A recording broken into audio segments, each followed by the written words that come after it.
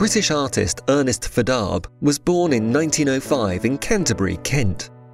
He studied at Beckenham School of Art and had his first exhibition when he was just 21 with the Royal Society of British Artists.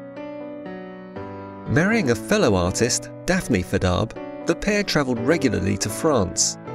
Fedarb's affinity with the French countryside is apparent in the vibrant use of colour and expressive quality to his landscape works.